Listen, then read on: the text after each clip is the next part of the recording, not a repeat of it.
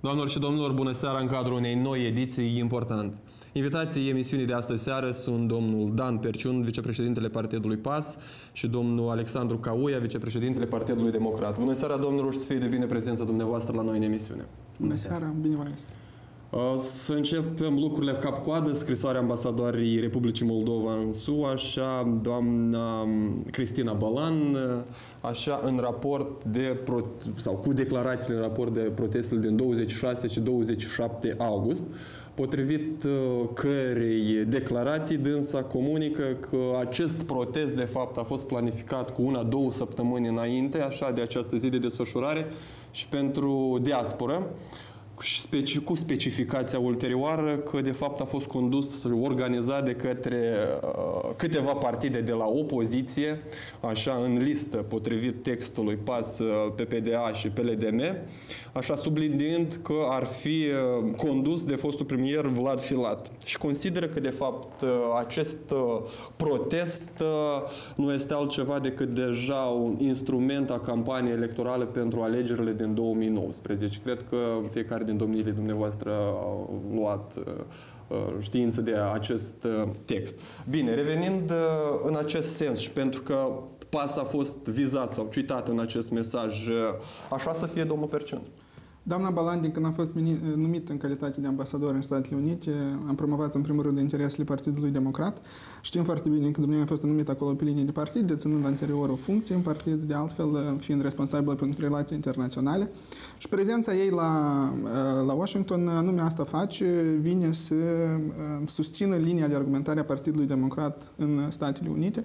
Bineînțeles că este o interpretare tendențioasă pe care o dă ea acelor evenimente, Protestul, ne aducem cu toții uh, foarte bine aminte, a, a avut loc pe data de 26, înainte de ziua independenței. Data nu a fost aleasă întâmplător, pe de o parte, pentru că, într-adevăr, se poate să participe uh, acei cetățeni din diaspora care revin acasă, uh, în fiecare vară, în luna august, ei își petrec aici vacanța și a fost o oportunitate și pentru ei să să exprime poziția civică, pentru că, din păcate, această guvernare le limitează această, această posibilitate de la posibilitatea de a finanța de a dona pentru partidele politice din Republica Moldova și astfel să-și exercice dreptul cetățenesc de a-și uh, susține opțiunea electorală, până la, uh, cel mai probabil, uh, vom vedea reducerea numărului secțiilor de vot în diasporă.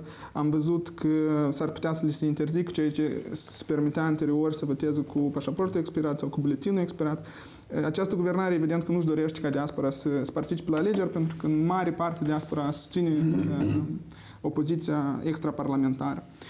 De aia, protestul a fost organizat pe 26 ca să poată să participe și diaspora și, în al doilea rând, pentru că era o dată absolut simbolică înainte de ziua independenței, un protest care vinea încă o dată subliniază că Republica Moldova, din păcate, astăzi nu este un stat, nu este un stat independent, este un stat capturat, un stat unde nu se respectă drepturile omului, un stat unde există o grupare la guvernare care își promovează interesele proprii în detrimentul Bine, și totuși avem un 27 de ani deja de independență care am încercat să le celebrăm uh, acest an și s-au ales și cu anumite ne aducem foarte bine pseudo-proteste, le-am putea numi, uh, având uh, reprezentant și chiar vicepreședintele Partidului Democrat, domnul Cauia Princesa a blocat sau amat sau îngustat interesele de a participa la acest, pro, la acest protest și cum justificați cele declarate de către doamna Bălan în raport de ceea ce a și declarat domnul Perciun. În primul rând vreau să vă mulțumesc pentru invitație. Este pentru mine deosebită plăcere să mă am drept oponent pe unul din vicepreședinții unui partid de opoziție extraparlamentară, așa cum a spus Dan. Domnul președinte, trebuie să spun că, într-adevăr, doamna Balan a făcut parte din echipa Partidului Democrat, a fost vicepreședinte a Partidului Democrat și nimeni nu încearcă cumva să ascundă acest lucru. Domnia are o experiență foarte bogat, uh, mai ales în domeniul privat, în companii cu capital străin și în companii internaționale. Uh, noi împărtășim această poziție în tot ceea ce ține de faptul că dumneavoastră ați ales uh, acea zi, așa cum ați încercat să argumentați, ca să fie foarte prielnic pentru concetățenii noștri din opoziție. Din câte noi analizăm, colegii, într-adevăr, concetățenii noștri din opoziție, marea lor majoritate vin în august, dar la sfârșitul august ei deja pleacă. Dumneavoastră ați făcut-o absolut perfid în opinia mea și nu doar dumneavoastră, eu nu vorbesc de opinia dumneavoastră personală, nu știu dacă dumneavoastră ați împărtășit-o, dar de aceste trei partide care și-au asumat cumva uh, vocea diasporei, Mm, Mă rog, eu înțeleg, e un partid care își dorește să vină la guvernare, nu prea propune un plan de alternativă, nu prea ne explică foarte clar ce ar vrea să facă cu uh, statul atunci când vine la guvernare. Este ușor să spui că este un stat capturat și nu se respectă drepturile omului și să faci abstracție de niște rezultate care trebuie să recunoaștem deja sunt palpabile. Dar haideți să vorbim totuși de 26. De ce spun că este o alegere perfidă a datei? Fiindcă mi-ați știut foarte bine că de pe data de 26, dacă nu vă prea reușește cumva prezența masivă, așa cum reușea în 2015, trebuie să recunoaștem că un pic nu a reușit cu prezența masivă și cu susținerea masivă de care tot uh, spuneți că aveți cumva sau vă bucurați, uh, ați încercat cumva să perturbați sărbătoarea uh, de ziua independenței, care până la urmă nu e nici a mea, nici a dumneavoastră, a nimănui, a tuturor așa fiecăruia, iar depunerea de flori a oficialilor, dumneavoastră ați văzut. Chiar dacă noi nu împărtășim poziția nici geopolitică și nici viziunea politică a președintelui țării, dar ați văzut că vicepreședintele Partidului Democratic, președintele Parlamentului și prim-vicepreședintele Partidului Democrat, prim-ministrul domnul Pavel Filip și domnul Candu, atunci când este nevoie, ei merg ca și oameni care reprezintă instituții, adică oameni care reprezintă fie Parlamentul, fie Guvernul, chiar dacă nu tocmai sunt cu cele mai bune impresii față de președintele țării. Și este o chestie de simbolism. Până la urmă, să depui flori, fie la monumentul Ștefan cel Mare sau în alte părți. Mie mi-a părut un pic trasă de urechi, dacă îmi permiteți să spun așa, acest protest, această tentativă de victimizare, această opunere de rezistență față de uh, forțele de ordine care au încercat de mai multe ori să convingă acele câteva zeci de oameni să îi roage frumos, să elibereze un pic, cel puțin pe perioada cât să depun florile și după asta să protesteze mai departe. Dar cu părere de rău, deci eu încă o dată vă spun, în opinia mea pur subiectivă, esența democrației rezidă în uh, puterea opoziției. O opoziție puternică este cea care este foarte bine structurată și are un plan de alternativ. Eu și astăzi încă caut planul de alternativ, că voi ne blamați, asta e, eu cred că e normal să se întâmple. O opoziție blamează o guvernare. Uh, nu este normal să se întâmple în termenii în care o fac unii colegi de dumneavoastră. Uh, dar, mă rog, asta este cultura politică pe care noi o avem și în acest sistem noi trăim. Aștept totuși să văd fie de la PAS, fie de la DA, fie de la ei împreună, împreună cu PLD-meu. Un plan de alternativ, să spună, dragi prieteni, stați un pic, uitați-vă, noi venim în campanie electorală, iată avem pentru următorii patru ani o astfel de plan. Și iată să încercăm să analizăm cu dumneavoastră, fie pe un segment, fie pe altul, fie pe domeniul tineret care ne interesează foarte mult, fie pe protecție social-economică sau pe dezvoltare, pe importuri, pe exporturi sau pe protecție sau pe anticorupție sau pe tot, tot, tot, niște lucruri care am început să le discutăm cu colegii dumneavoastră și trebuie să recunosc că sunt în uh, UF PAS uh, tineri care au uh, calități și capacități. Mie mi-a plăcut să vorbesc cu, cu ei a fost doi colegi de dumneavoastră pe platforma creată de Consiliul Național al Tineretului din Moldova și atunci când se vorbește segmentat, cu pregătire de acasă, într-adevăr înțeleg ce înseamnă argument, contraargument, știu când se recunoască că, uite, da, poate și nu avem dreptate, dar avem, uitați-vă aici dreptate. Deci e bine, Dacă și putem să încercăm. Să... Da, chiar vă rog. Și în, context, să... în contextul și a replicii, de fapt, cât de deschiși pentru dialog ar fi pas uh, individual sau pas și cu da sau pas și cu da și cu PLDM la un dialog uh, cu partidele la guvernare, un exemplu, să zicem, Partidului Democrat, pe uh, acele direcții care au fost și comunicate. Deci, înainte de a da răspuns la această întrebare, aș vrea să comentez câte ceva din ceea Da, ce vă a rog. anunțat domnul Căuia anterior. Deci, referitor la protestul din data de 26, ceea ce s-a întâmplat în data de 27, toată lumea a văzut cadrele cele când s-a intrat abuziv pentru protest, peste protestatari. În mod normal, acea dispoziție a primăriei ar fi trebuit să fie publicată, ar fi trebuit să, fie, să fim informați din timp că nu există posibilitatea de a desfășura acele manifestări pe data de 27, iar absolut nu era necesar în dimineața acelei zile, la ora 6, pentru că eu m-am aflat acolo personal, să uh, disloci mii de carabinieri uh, înarmați uh, pe deplin, în așa fel încât uh, să intri peste o mână de 80 de oameni cu uh, agresivitate și să-i scoți de acolo uh, forțat. Uh, Lucrurile astea se puteau face complet altfel și mai mult ca atât se puteau face în cadrul legal, trebuia să existe o dispoziție a primarului general publicată pe site, adusă la cunoștința cetățenilor. Uh, Protestul din data de 26 a fost evident unul care, uh, de care, un, de unul de care guvernarea s-a temut. Uh, Ne aducem aminte foarte bine de limitarea accesului la transport public care a avut loc atunci, dincolo de diversiunea care a fost organizată în Piața Mării Adunării Naționale. Uh, Cetățenii trebuie să-și aducă aminte și cu siguranță cunosc că Maia la Guta a rezervat o, piață, o parte din piață și în mod normal ar fi trebuit să desfășoare acea activitate într-o zonă rezervată, așa cum discutați cu poliția, dar ce s-a întâmplat în acea zi este că, cum să zic, tipul idiot util al acestei guvernări Ilan Șor i s-a permis accesul pe scenă în așa fel încât să incite la ură protestatarii, în așa fel încât să privatizeze acel eveniment și să lovească în inițiativele cu care am venit noi în fața cetățenilor. Și asta, bineînțeles, s-a făcut cu acceptul Partidului Democrat, pentru că altfel nu îmi pot explica cum o persoană condamnată la închisoare, cu un proces pe rol, o persoană care figurează în toate în investigația Kroll și care este bănuit mai mult decât rezonabil pentru furtul miliardului, are acea protecție în justiție pe care o are la moment. Evident că acele evenimente din data 26 au fost coordonate cu Partidul Democrat și Ilan Șor încă o dată și-a făcut și-a îndeplinit obligațiunile pe care le are acest partid pentru faptul că încă nu se află după grade. Și aici ar fi foarte multe de discutat despre parteneriatul care există între Partidul Democrat, Ilan Șor și președintele Igor Dodon. Și aici cu PSRM am zis întotdeauna, există un parteneriat tacit, acea încercare de a prezenta un front separat.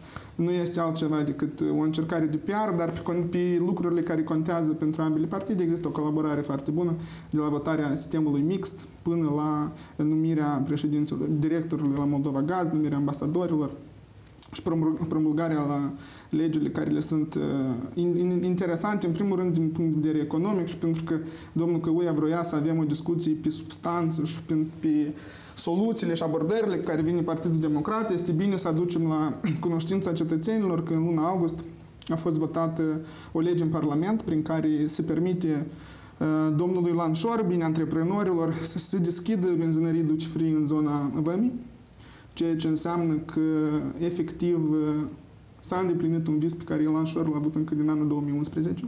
Uh, I s-a permis să deschidă și să vândă benzină cu până la 9 lei mai ieftin decât pe restul restul suprafeței Republicii Moldova, astfel încasând uh, bani care în mod normal ar trebui să vină în bugetul de stat și să vină spre suplinirea salariilor, pensiilor, să vină pentru investiții în infrastructură. Putem discuta nominal pe fiecare proiect pe care, pe care au venit Partidul Democrat și care sunt sigur că o să vină în uh, alegerile parlamentare în fața cetățenilor, de la drumuri bune la prima casă, um, dar uh, soluția de bază pe care noi o avem pentru Republica Moldova este în primul rând să dăm jos această guvernare coruptă care guvernează împotriva intereselor cetățenilor Republicii Moldova. Primul lucru care ar trebui să-l facă opoziția în momentul în care vine la guvernare este să înceteze să procedeze așa cum ați făcut dumneavoastră pe parcursul a trei ani de zile. De la anularea și invalidarea alegerilor în municipiul Chișinău, până la răpirea cetățenilor turci, aprobarea uh, amnistiei fiscale prin care încercați să legalizați banii obținuți prin evaziune fiscală de către antreprenori, Um, eșecul total al acestei guvernări de a recupera miliardul, acea, acele cifre pe care le prezintă domnul Filip, ca și cum au fost recuperați niște bani și sunteți cu siguranță bine informat și o persoană care înțelege că vorbim despre activi care au fost vândute, dar nu despre bani reali care au fost furați și au fost returnați. Deci tot ceea ce ar trebui să facă o, o opoziție pentru început este pur și simplu să nu procedeze ca Partidul Democrat. După care, evident. Este foarte important um, să asigurăm investiții în educație, să asigurăm investiții în infrastructură, în asigurare socială. Și eu vă asigur că în luna noiembrie, uh, Partidul PAS, împreună cu platforma DA, va veni cu un amplu program de guvernare. Iată, eu zic că atunci Pentru luna că, noiembrie să analizăm liniștit, dar până atunci... Până atunci discutăm... Ați vizat atâtea subiecte, eu să încerc cât se poate de succint. În primul rând, vis-a-vis -vis de primarul de Orhei, Ilan Șor, eu nu vreau să-i fac, să fac acum pe avocat, chiar dacă am o licență suspendată de avocat. Eu, din cât știu, dosarul pe rol, uh-huh. justiția încă nu s-a expus, uh-huh. urmează să se expună, de ce trebuie să criticăm niște decizii care încă nu sunt Puteți să-mi spuneți, dacă nu vă este greu, cât timp a durat traducerea dosarului din limba română în limba rusă? Eu nu știu toate acestea. Da, vă informez, șase luni de zile da. a durat. Vă pare normal? Nu. Haideți să înțelegem foarte clar. Deci eu nu încerc acum să fac uh, cumva să imaculez imaginea cuiva. Că există niște suspiciuni, 100% ele există. Că există două rapoarte Kroll în care uh, sunt vizate nu doar numele uh, primarului Șor, dar și multe alte nume destul de cunoscute în Republica A Moldova. oamenilor mare parte cinstiți, despre care vorbea domnul Filip. Așa înțeleg. Uh, Mă rog, așa ați opinia făcut dumneavoastră din Nu, așa asta context extrem, a acolo. expus el că 90% Deci, la un din moment oamenii vizați dat, în Crow sunt oameni da. cinstiți. Aveți perfectă dreptate că uh, trebuie să avem un pic de toleranță. Eu v-am ascultat, noi o să ne ascultăm reciproc și o să mergem liniștit pe toate subiectele pe care dumneavoastră le încercați să le ridicați. Ele sunt foarte importante. Deci uh, și o să fac uh, justiția cu uh, dosarul ușor, o să urmărim toți împreună cu mare, uh, mare interes. Uh, Puteți să acuzați partidul de guvernare de orice, fiindcă asta este soarta partidelor de guvernare. Se întâmplă, nu se întâmplă, este vinovată guvernarea. Asta e logica um, de gândire în, atunci când ești în opoziție. Îmi place că recunoașteți faptul că atunci când o să veniți la guvernare, nu o să reușiți să faceți ceea ce reușim să facem noi. Da, Noi să dumneavoastră- facem mai bine decât facem. Uh, De Doamne. De Doamne uh, să faceți mai bine, dar pentru asta trebuie de întâi de ajuns la guvernare. Haideți să vedem, să scoatem uh, subiectul de pe data de uh, 27. Au fost multe solicitări. Cum a făcut-o primăria? De ce nu ați acționat primăria în judecat ca să le demonstrați că ei nu au dreptate? Au făcut corect sau nu? Eu tot am impresia că totuși trebuia să se decide, să nu se împartă la tot și la fiecare. Dar dacă au încercat cumva să, să, să intre în voie, că eu altfel nu văd cum, ca să împartă și acel protest care s-a anunțat de 30 de mii și alte manifestări culturale, artistice consacrate fie zilei independenței, fie altor sărbători, că dumneavoastră suspectați unele binomuri toxice, mai puțin toxice, dumneavoastră nu aveți impresia că subiectul ăsta s-a cam răsuflat. Nu, întotdeauna ne spun că noi cumva suntem într-un uh, fel de cooperare sau colaborare cu acest președinte, care, vă aduc aminte, este a patrulea președinte în Republica Moldova, dar este primul președinte care a fost de atâtea ori suspendat, numai de că nu știe să-și uh, satisfacă funcțiile sale constituționale. Că el încearcă cumva să-și creeze um, dividende politice, da, este regretabil că dumnealui a promis că va fi președintele tuturor, inclusiv al meu și al dumneavoastră. Opinia mea pur subiectivă, nu știu care este opinia dumneavoastră, că el nu a reușit să facă acest lucru. El este președinte tuturor celor care sunt pro-ruși și celor care cred în iluzia întoarcerii nu știu cărui regim. Este ușor pentru dumneavoastră cumva să încercați să, să injectați în opinia publică această eroare. Încercați cumva să o faceți și prin presa care cumva vă promovează. Eu nu încerc să vă acuz, încă o dată vă spun. Eu înțeleg dorința și a liderilor dumneavoastră, nu știu dacă și a dumneavoastră personal, dar și a liderilor dumneavoastră de a veni uh, la putere. Este un lucru natural. Că atunci când vrei să vii la putere, cumva mai depășești și niște limite și toți învinoveți, iar tu te erigezi în statutul de cel mai, cel mai, nu știu, uitați, vorbind despre șor, eu câteodată am impresia că vă sunteți geloși. Și nu vorbesc de dumneavoastră, domnul președinte, sincer. Fiindcă dumneavoastră ați lucrat la minister în acel timp, dar eu, din câte înțeleg, dumneavoastră nu primeați plicuri așa cum primeau toți. Și este un lucru practic demonstrat că Ilan Șor a finanțat pe LDM-ul și lidera dumneavoastră și viceministrii Grosu și toți ceilalți care erau atunci primeau un fel de remunerare în plic, lucru despre care se vorbește. Stimați domn, stimați domn, stimați vicepreședinți, Lucrul ăsta nu se transformă în adevăr. Absolut de acord. O intervenție, am să-mi permit și eu să intervin în replici. Dar n-am reușit să vorbim despre toate Mai avem și timp, dar tendeam să leg și de alte rog, întrebări. De ce? Pentru că, ca urmare a discuțiilor pe replică până acum, s-a izbutit a face un promo a emisiunii de astă seară, care încă urmează decât noi să o mai și discutăm. Uh-huh. De ce? Pentru că, da, urmează să discutăm și despre furtul miliardului sau furtul secolului sau uh, să-l numim așa cum mai și-l numesc toți, dar pentru noi este suficient și așa.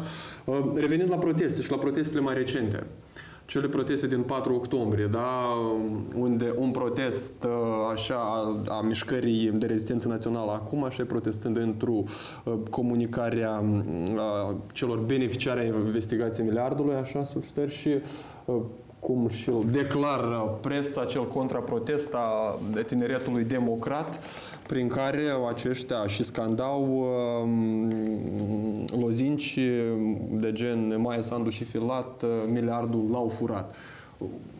Oarecum undeva se instalează un, trans, un transfer de atenție cu, ca urmare a acestor proteste s-a izbutit a ieșit la comunicare cu reprezentanții partidului PAS. S-a izbutit a comunica până la urmă fie din da, fie da din PAS. Am vrut să comunicăm. dar nu prea am reușit să ajungem din spate, că, că am fugit. Nu era doamna președinte PAS, nu era președintele, da, era acolo, dar că el cu prostimea nu vorbește. Dar până atunci, haideți totuși să vedem, tot am înțeles că s-a furat miliardul, ne se imputează faptul că noi am ieșuat. S-a spus foarte clar și domnul președinte a Parlamentului, Adrian Candu, a dat explicații după mine pe care le înțeleg toți, inclusiv dumneavoastră tot ce și se putea de recuperat și ce este pe teritoriul Republicii Moldova se recuperează sau practic foarte, foarte repede, fiindcă, așa cum spuneți dumneavoastră, inclusiv prin vânzarea activelor băncilor care uh, nu mai sunt. Cu părere de rău, o parte foarte mare din acești bani au plecat peste hotarele țării. La 90% din acești bani au fost identificați. Aducerea acestor bani înapoi acasă este o procedură nu atât de ușoară, fiindcă ele sunt în jurisdicții foarte interesante. Eu le numesc vesele, dacă îmi puteți permite astfel de denumire acolo unde, știți cum, uh, ajung, sunt identificate, de atât cu aducerea acestor bani înapoi, e un pic mai dificil.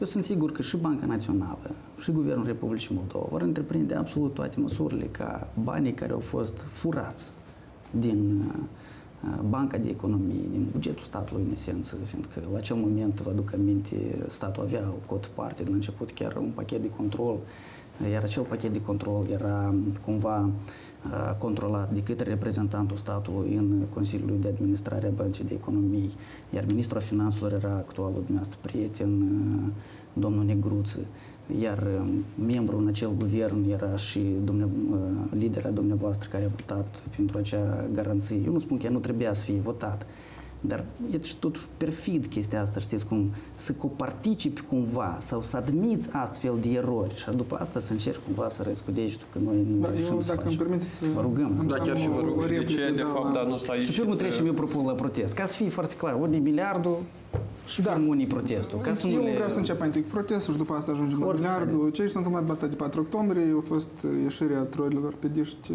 în, în stradă. Cam asta.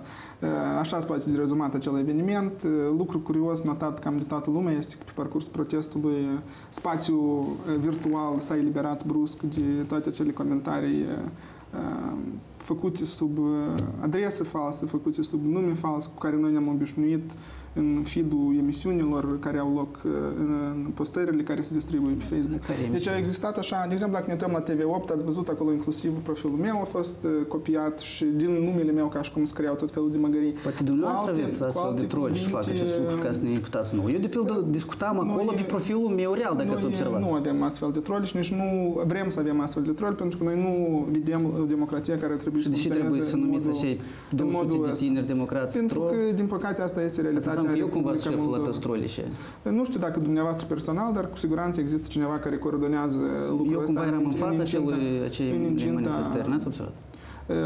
Eu nu știu dacă dumneavoastră, dacă dumneavoastră vă asumați și rolul de șeful troilor Eu din vă- online a Partidului Vă sugerez Democrat. să vă duceți la nu aveți primărie să decât vedeți că faceți eu lucrul ăsta. personal am depus cerere. Înseamnă că dumneavoastră sunteți șeful troilor Nu, asta înseamnă că eu sunt omul Partidului responsabil Democrat. de acea manifestație a Tineretului Democrat din data 4 octombrie. Corect, la care, Asta au dumneavoastră ați participat, catalogat la care au troli. participat o bună parte din tinerii care scriu tot felul de măgării și mizerii opinia sub, noastră fost sub subiectivă. uh, conturi false pe, pe internet.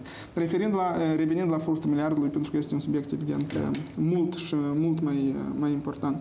Um, Aici, domnul Căuia trebuie să facă precizarea foarte clară când din banii din Republica Moldova nu au fost recuperați. Unica ce s-a făcut, s-au vândut activele deținute de către acele bănci pe teritoriul Republicii Moldova și, evident, încercând să manipulăm un pic și schimbăm accentele, domnul, și domnul Căuia și Partidul Democrat în general prezint acele milioane care au fost, recu- care au fost obținute din vânzarea activelor ca o primă recuperare. Îi aduc aminte domnului Căuia că au trecut patru ani de zile de la furtul miliardului, suficient timp pentru a demara procedurile de recuperare a banilor, Ce pentru a, nu știu, nu a fost identifica, demarat. pentru a identifica pe cei care se fac vinovați, pentru a trage pe cineva la răspundere pe ce- pentru furtul care a avut loc. Vă aduc aminte că uh, cel mai probabil în luna februarie s-ar putea să greșesc, cam expiră termenul de prescripție pentru uh, această infracțiune comisă în cazul lui Ilan Șor după alegerile parlamentare, în momentul în care nu o să fie o decizie definitivă și irrevocabilă, s-ar putea să scape cu basma curat cel care a fost instrumentul util în realizarea acelui furt. Când vorbim despre... Deci încercarea de a o murdări și a o prezenta pe doamna Sandu ca coparticipant în Ce înseamnă luarea murdărie? acestor Noi am decizii, constatat niște lucruri. este, Au fost să-l numim este prin o guvern. tactică pe care domnul uh, și Partidul Democrat a folosit-o inclusiv în alegerile 2016. Eu cred că cetățenii de mult au înțeles că doamna Sandu nu are nimic a face cu, cu furtul miliardului. Doamna Sandu a fost într-adevăr membru acelui guvern. Apropo, stenograma, stenograma publicată, dacă eu nu greșesc, Doamna Sandu trăiește din, din, aer sau din energie solară? Uh, Doamna Sandu trăiește din banii pe care i-au făcut încă lucrând la Banca Mondială. Trei luni de din zile? acele Iar rezerve. trei ani de zile de când trăiește din banii și Ați fi surprins cât Haideți să nu fim de, ați naivi. fi surprins cât de economie este doamna Sandu și în Nu, nu, același că timp ea este o doamnă salariul- economie, eu am salariul- admit, salariul fiindcă pe care familia l-a- nu-i mare. Salariul pe care, a, deci dumneavoastră sunteți la acel nivel în care vreți să lansați Nu, acuzații familia, la cheltuielile nu nivel- sunt la mari, eu nivelul singur om, asta e personal toată al ideea. domnului Sandu, Nu, astăzi deci, și la nu o să fapt că fie- are sau o să nu are avem dumnei ocazia să familie, vorbim cu deci domnii Eu personal, întotdeauna eu am se- crezut că cel puțin dumneavoastră aveți, sunteți mai, aveți un nivel mai înalt decât să faceți Eu referire la... constat că chiar și la pentru un om familia acei persoanelor. bani care e economisit sunt insuficienți Ah, pentru trei ani de zile. Ok, deci veniturile doamnei Sandu sunt uh, publice, sunt transparente, puteți să adresați întrebările respective. Dumnezeu a lucrat la Banca Mondială, a câștigat foarte bine acolo, a Așa. avut un salariu foarte bun, care s-a acumulat și din care ea Dar continuă nu s-a să se- acumulat din cumva care ea din continuă plicurile să care se veneau de la domnul Șor? Întreține. Asta sunt acuzațiile aduse de dumneavoastră absolut nefondate, însă noi știm cu E o siguranță întrebare. cine. Noi știm cu siguranță din banii cui au fost plătiți studiile domnului, Da, fiului zborul la- domnului Leancă. zborul Fiul la domn- Doha? Studiile fiului domnului Leancă în Zborul Marea la Doha. Britanie Ați văzut recent, a fost publicat, revenim și acolo, a fost recent publicat uh, uh, o investigație jurnalistică foarte bună de altfel, care demonstrează clar că bani dintr-o companie deținută de către domnul Șor, fapt constatat în instanță, uh, atenție aici, da? Deci uh, este stabilit prin decizii de judecată cu compania care a virat bani pentru achitarea studiilor fiului domnului Leancă, Instanța a constatat acest lucru, era deținut de domnul Șor și în egală măsură instanța a constatat că Din ce acei partid bani făcea au parte venit domnul Leancă la acea perioadă, ca și doamna eu, Maia eu Sandu? sunt cu siguranță în ce partid Din ce face partid? parte domnul Leancă la moment sau cel Din ce puțin din partid ce face el grupare face Nu uh, ține parte de domnul grupare, Leancă totuși, la haideți să moment fim și mai atenți. cine îl deservește pe domnul Leancă, Cu cine îl deservește deservirea, pe domnul mă Leancă rog, la moment. întrebați să-l vedeți, Uh, analizați, dar haideți totuși cred să că constatăm niște totuși, fapte reale. uh, Din ce absolut. partid făcea parte și domnul Leancă și doamna Sandu atunci când erau finanțați de Ilan Șor?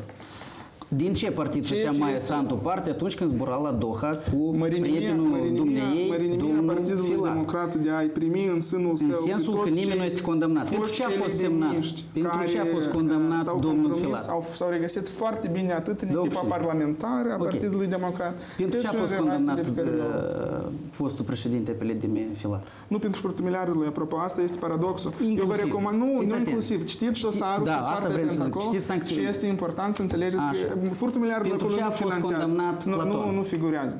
Nu figurează. Pentru ce a fost Eh, condamnat Deci dumneavoastră Platon? faceți referință la oponenții politici a domnului Vlad Plăhotniuc, care au fost condamnați Ce inclusiv înseamnă oponenții pentru, lui Vlad eh, Plăhotniuc? Ei sunt pentru că oameni este o care diferență pot fi numiți importantă. criminali deoarece deja există o hotărâre irrevocată. Noi vom avea, Doamnă președinte. eh, ca pentru că acest proces să fie cu adevărat credibil, noi așteptăm o decizie de condamnare a domnului Ilan Șor, Eu care aștept până o acum a decizie de fost condamnare protejat de în trei cazul ani de tuturor zile. celor care sunt vizați Absolut, dar eu vă în propun să furtul începeți miliardului. cu Ilan Șor, pentru că acolo probele sunt Ce față înseamnă și să lucrurile începem? sunt clare. Stimați domnule, Evident, tot care- respectul, Domnul președinte, nu Șase trebuie să luni- ducem șase- să dictăm aceste Șase luni de, zi, justiții. șase luni de Berciun. zile pentru a traduce un dosar din Domn Berciun. rus în român în așa fel încât el să Da, are avanseze dreptul acel din om să-și prima cunoască toate Dar conținutul acelui atât dosar. este de prost pregătit Dumneavoastră justiția aveți impresia că Republicii chiar Moldova. credeți că o să Atât- tergiverseze până la atâta ca să treacă atât- termenul de prescripție? Atât este, absolut. Credeți-mă, asta nu se Asta va este întâmpla. interesul. În momentul în Dacă care Ilan Șor este vinovat, eu sunt sigur că justiția din Republica Moldova... Și va domnilor, eu condamna. propun câteva clipe de publicitate, după care revenim la discuția noastră aprinsă de până aceste clipe de publicitate, vă rog.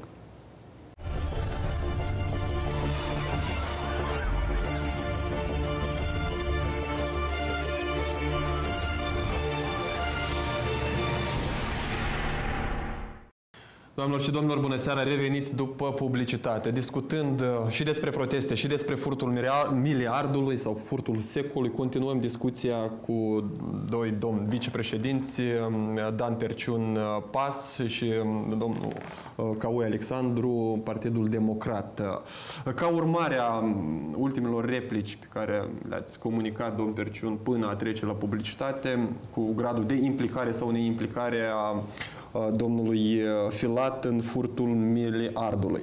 Și totuși, ca poziție personală și împărtășită de partid, uh, cât de implicat îl vedeți sau totuși negați implicarea lui Filat în furtul miliardului, pentru că în cadrul unei asemenea întrebări, la participarea doamnei Sandu în una din emisiunile televizate, dumnei oarecum mai și voalat declara că um, hoțul vorbește despre hoț sau hoțul strigă la hoț, cum este corect. Până la urmă, uh, opoziția strigă hoțul către guvernare, guvernarea în sensul ăsta se poziționează către opoziție. Cine este mai hoț în cazul ăsta? Dacă am fi trăit într-o țară în care există sistemă de justiție, atunci pronunțarea unei persoane vinovate sau nevinovate în cazul unei infracțiuni nu s-ar face într-o într-un studiu uh, televizat.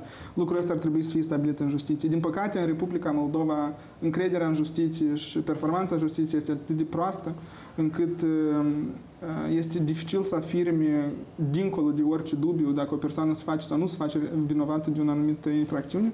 Aici doar țin să menționez, și domnul Căuia cunoaște acest lucru, în sentința pronunțată în cazul domnului Filat nu se face referință la furtul miliardului. Dumnezeu a fost condamnat pentru că a acceptat mită de domnul în alt, în alt context, dacă eu mi-aduc bine aminte, dar s-ar putea să greșesc.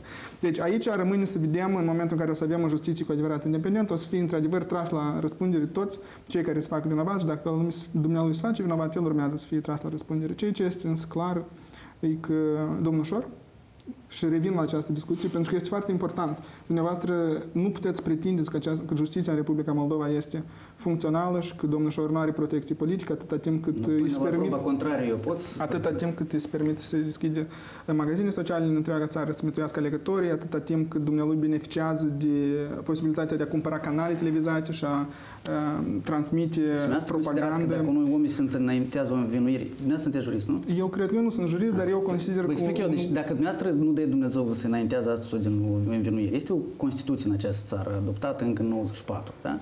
Unde scrie foarte clar că și eu și dumneavoastră și colegul nostru Craniu cu aceste emisiuni beneficiază de prezumția nevinovăției. Absolut. Și până sunt... la momentul emiterii unei hotărâri irrevocabile a unei instanțe competente, această prezumție... Da, dar, uh, domnul Căuia, cetățenii acestei țări nu sunt proști. Cetățenii no. acestei țări înțeleg și văd că în un proces se tergiversează A afirmat cineva în acest studio că cetățenii acestui stat sunt proști? Dumneavoastră vreți să spuneți că în contextul în care cetățenii văd că se tergiversează acest protest, intenționat, că acest om beneficiază de protecție politică din partea acestei guvernări. Atunci când avem șomeri de lux care trei ani de zile ne povestesc nu că ei trăiesc pe nu știu care economii, iată eu am impresia că aici cumva cineva ne consideră de proști. Moldova este evident unul viciat.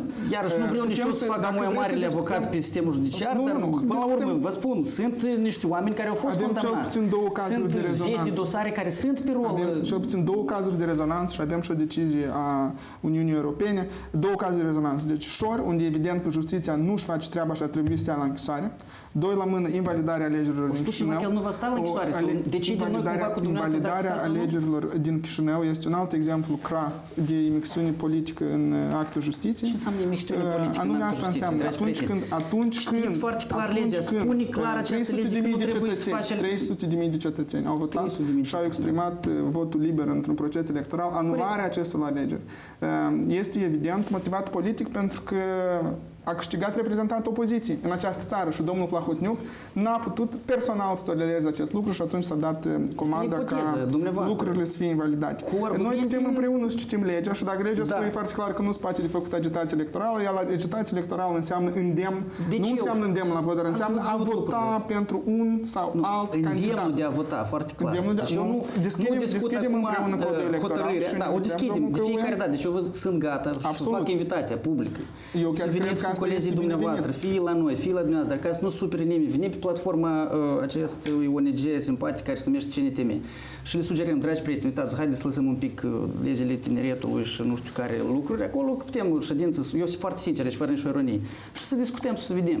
Nu să criticăm o uh, decizie a unei instanțe, fiindcă aici noi putem să cădem în derizoriu, diferite hotărâri, diferite instanțe. Dar să analizăm legea și să vedem, Analiza. există sau nu uh, încălcare, uitându-ne la, foarte, la, la, la reci, să zic așa. Deja lucrurile cumva s-au, s-au sentimentat, nu-i cu o zi, două în urmă, emoțiile ar putea să fie okay. lăsate eu propun după să... dumneavoastră să prezentați interpretarea dumneavoastră, eu am să prezint interpretarea mea și o să lăsăm de alegătorii acord. să decidă în ce măsură interpretarea este mai aproape de sau nu de ceea ce ar fi trebuit să întâmple. Deci, pentru ca uh, cei care se uită la noi să știe, legea spune foarte clar că în ziua votului se interzice agitație electorală. Iar agitație electorală înseamnă, expres spus în lege, agitație în favoarea unuia sau un altuia candidat. În Republica Moldova, în toți acești acești 27 de ani a existat practica ca în ziua votului, ca și în majoritatea țărilor europene, de altfel, candidații să îndemne oamenii să iasă la vot fără a spune clar să voteze pe sine. Îndemnul de a ieși la vot și îndemnul de a, de a spune votați-l pe domnul Corect, președinte. exact. Deci Păi asta, sunt lucruri un asta pic și a diferite. fost momentul, pentru că domnul Năstase niciodată n-a zis votați Andrei Năstase, a zis ieșiți la vot și uh, participați, uh, fa- îndepliniți-vă rolul de cetățean. Pe lângă asta este Eu am foarte... văzut un îndemn dacă, foarte dacă clar. îmi Vă rog, permiteți, vă rog. îmi permiteți. Da? A, doua, a doilea element foarte important pentru ca să fie ajuns la procedură de, de anulare sau invalidare era să se demonstreze că un îndemn, chiar dacă el este calificat ca agitație electorală, într-adevăr ar fi avut suficient impact electoral în așa fel încât să încline balanța în favoarea sau în defavoarea unui candidat. Foarte important criteriu, da? pentru că, dincolo de faptul că agitația electorală într-o zi s-ar putea un candidat să lipească un afiș pe uh, un card, asta nu poate automat să atragă după sine anularea alegerilor, pentru că evident că impactul este foarte mic. Acum, uh, ceea ce a făcut doamna Berdilu a fost un exercițiu juridic deosebit. Eu cred că mie chiar trebuie să primească un premiu, pentru că la nivel internațional Oferiți-o. nu există, nu există um, o metodologie, nu există un mod prin care cineva să echivaleze Există numărul, intima număr, convingere a numărul, instanței numărul, de și baza vizualizări, normativă. numărul de vizualizări a unui video online și impactul pe care acele vizualizări au asupra votului. Nu doar asta este Doamna argumentul, dragi Berdilu nici măcar nu a făcut Propun să efortul. știm acea hotărâre Eu am și citit baza foarte e clar. argumentativă și să vedem că nu este Anume vorba asta a doar de spus. acel Azi- video. Inclusiv lucrul ăsta a fost Inclusiv, invocat. dar nu Lucrul doar. Nu ăsta a trebuie să fost duci invocat. oamenii Mulțumesc, domnule, spectator. propun ca să și păstrăm limita decenței și fiind o și dezbatere în cazul întâlnirii de astă seară și nu o simplă și ușoară discuție, să ne aerisim spațiul la replică și pe o latură și pe alta. Eu am doar vreau 30 secunde să închei, pentru că eu... Vă rog, vă rog. uh, Deci, a doilea element, ziceam, uh, doamna Berdilu a făcut un experiment deosebit, a reușit să demonstreze cum o vizualizare pe Facebook se transformă într-un vot și să ajungă la concluzia că datorită numărului de vizualizări a fost viciat votul. Dumnezeu n-a făcut nici măcar efortul să se informeze câte din acele vizualizări au fost făcute de către oameni care au până la 11 ani, câte din ele au fost uh, a oamenilor din afara Republicii Moldova, câte din ele au fost a oamenilor care deja au votat la momentul în care au vizualizat acel video. Respectiv a tras acea concluzie uh, din intima convingere și probabil un pic uh, cu direcția oferită de către cei care erau cei mai interesați pentru că acest vot să, să fie anulat. Asta este poziția noastră, astea sunt argumentele noastre. Eu cu Bine siguranță înțeles. cred că aveți și dumneavoastră Da, lucruri avem. care puteți să le expuneți pentru Vă cetățeni. rog, dacă îmi permiteți. În primul rând, dacă aveți cumva suspiciuni că a existat un act de corupție sau de alt gen, eu vă invit sincer și întotdeauna am invitat pe toți și studenților mei întotdeauna le spun, băieți și fete, nu trebuie să vă temeți. Dacă să fiți cu uh, sobistea curată, trebuie să vă duceți și să sesizați organul competent. Iar atunci când nu știm care este organul competent, nu căutăm pe Google, dar ne ducem la poliție și depunem o plângere. Iar poliția este obligată, prin lege, să uh, transfere uh, com- conform competenței și teritoriale și materiale aceste lucruri. Și nu facem aici prelegere. Acest lucru trebuie făcut și eu vă invit să-l faceți, pentru că cred că termenul de prescripție pentru actul de suspiciune de corupție uh, nu, uh, s-a, nu s-a prescris, așa că vă invit să o faceți. Doi, eu ca și jurist, fără pretenția de a fi uh, cu foarte mare experiență în ale judecăților, uh, sugerez totuși să avem o analiză cât se poate de amplă, să citim și hotărârea primei instanțe, și cele de-a doilea instanță, și cele de-a treia instanță. Eu înțeleg că este ușor să spui că statul nu știu cum este, că justiția nu există, că nu știu cum, dar totuși, de 27 de ani acest stat funcționează, totuși, de aproape 3 ani de zile uh, acest guvern livrează niște rezultate și vrem noi sau nu să recunoaștem, dar ele sunt palpabile și aceste rezultate palpabile sunt recunoscute inclusiv de oponenți, asta este o realitate, vrem noi asta sau nu vrem. Se întâmplă niște lucruri în Republica Moldova, în sensul foarte pozitiv și în domeniul uh, tineretului și în domeniul transportului, dacă vreți, sau a asigurării cu infrastructura de drumuri sau cu uh, prima casă, despre care eu înțeleg că noi tot am vrut să vorbim, dar uh, Ajungem, Sper, ajungem. să, sper să ajungem uh, și la ele. Uh, Faptul că în 27 de ani uh, nicio instanță nu a știut să facă acest lucru, asta nu înseamnă că dacă au făcut-o după 27 de ani este ilegal. Noi trebuie să înțelegem așa pentru totdeauna. Opinia mea, pur subiectivă, ca și jurist, este că, în general, trebuie să modificăm legislația electorală și să permitem să facă agitații. Alta e că să nu permitem să facă agitații deja în uh, secția de vot, că asta ar fi un pic Deci uh, dumneavoastră credeți excesiv. că este pur întâmplător că această decizie Nu s-a este luat întâmplător, anume dragi colegi. în cazul Nu. Este victoriei ma- la unui- un moment unui, dat uh, există acei reprezentant al oameni opoziției tineri, la alegerile tineri, locale. specialiști buni, care vin în sistemul judecătoresc, știu să citească legea și spun, băieți, faceți voi ce și doresc, dar e scris în lege, trebuie respectată. De toți. Că este unul X Ulescu și nu știu cum îl cheamă, nu contează, să fie respectat. Poți? Bine, nu poți. Aduceți-mi, vă rog, un Haideți să- exemplu anulării alegerilor într-un alt stat. Anule, anu- anulării? Corect. Anulării alegerilor în general? Nu, a unui Dragi rezultat prieteni, electoral. Haideți să fim serioși. Deci, Sunt o sumedenie ca să de cazuri discutăm, când nu se sunt anulează absolut- rezultatele electorale și nu numai uh, în uh, pe Aici, baza unui dacă hotărâri îmi de stat. permiteți, foarte interesant subiect, pentru că, într-adevăr, nu există o asemenea practică nici măcar în, în Rusia sau în, în Belarus. Acolo tehnica este altfel. Da? Acolo se falsifică alegerile. Dar chiar și acolo, dacă rezultatul alegerilor a fost pronunțat, Dar el eu se am observat de mai multe ori opoziția atunci când pierde alegerile, ele întotdeauna sunt falsificate. anularea, anularea alegerilor este o măsură neîntâlnită nici măcar Eu pe încă o dată teritoriul vă spa- spun, ca statelor justiția ex-sovietice. să-și facă treabă, e trebuie să fie respectată și stimată. Privim, Eu de nu am exemplu, pretenția cum- că este cum- ideală, cum s-au dar în acel întâmplat- caz, hotărârea este mai mult decât argumentată. Și eu întâmplat propun să nu lucrurile în pierdem Statele Unite. timpul și să Pentru că mergem este- la nu, lucruri nu, nu, foarte dați consistente pe care dumneavoastră nu consistente. vreți să le Nu le discutați. O să mă discutăm. lăsați la sfârșit 30 de secunde ca eu să vă spun despre rezultatele fie în domeniul uh, valorificării pensiilor, fie de creșterea Domnul- domnul salariului Căuia, mediu. noi în discutăm ultimii doi ani imediat și despre jumătate, acele- fie miile acele de kilometri de rezultate. drumuri pe care Noi discutăm nu știu, despre deși n-au acele fost, dar astăzi rezultate. deja ele Da. sunt.